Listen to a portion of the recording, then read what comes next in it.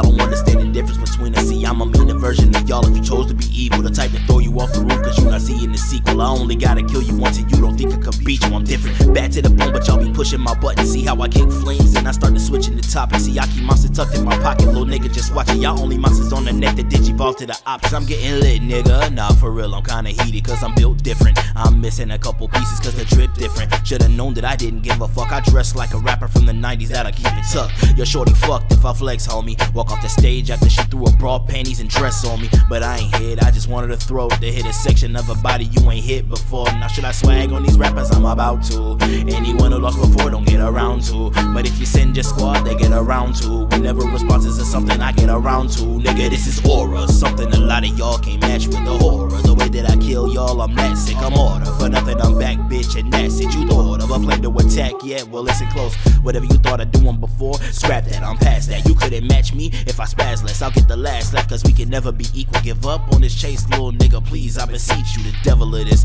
Real villain talk, I don't have a list. If I ain't ever mention you for real, then you will never get combat for combat, nigga. You gotta listen close, cause one punch from me will really leave you niggas comatose. Rah.